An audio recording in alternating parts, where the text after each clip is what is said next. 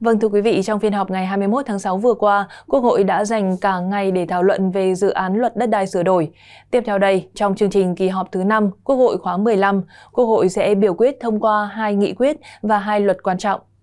Được biết, vào ngày 21 tháng 6 vừa qua, Quốc hội đã dành cả ngày thảo luận tại hội trường về dự án luật đất đai sửa đổi.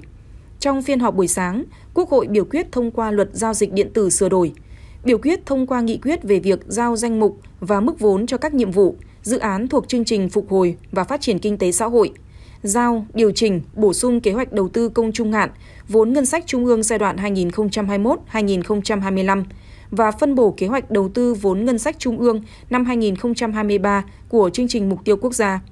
Sau đó, Quốc hội thảo luận ở hội trường về dự án luật viễn thông sửa đổi. Bộ trưởng Thông tin và Truyền thông giải trình, làm rõ một số vấn đề đại biểu Quốc hội nêu. Trong phiên họp buổi chiều, Quốc hội biểu quyết thông qua nghị quyết về việc thành lập đoàn giám sát chuyên đề của Quốc hội năm 2024. Ngoài ra, Quốc hội sẽ biểu quyết thông qua luật sửa đổi, bổ sung một số điều luật của luật công an nhân dân.